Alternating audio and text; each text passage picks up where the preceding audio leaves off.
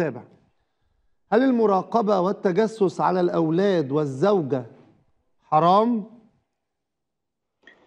لا الأصل التجسس لا يجوز شرعا أيوة. لكن إن الواحد أصلا الأفضل إن إحنا نربي أبنائنا على مراقبة الله عز وجل لكن أنا أشعر أبنائي دايما إن أنا في رقيب عليهم طيب لما يطمنوا إن أنا مش مراقب عليهم مش مراقبهم خلاص انتهت نعم. إنما الأصل أغرس فيهم أن آه، الله عز وجل معهم أينما يكونوا ما يكون من نجوى ثلاثة إلا هو رابعهم. نعم.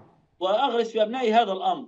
أما الرقابة وإشعار ابنائي وزوجاتهم دائما تحت المجهر وأنهم متهمين هذا يفسد أخلاق الناس ولا يوطدها. لكن يبقى الإنسان بين يعني ال- ال- الرقابة غير المباشرة اللي هو بالتعهد بالتربية ولكن ليس بالأسلوب الذي فيه تدخل وتطفل على خصوصياتهم تمام. جزاكم الله خيرا يا شيخنا.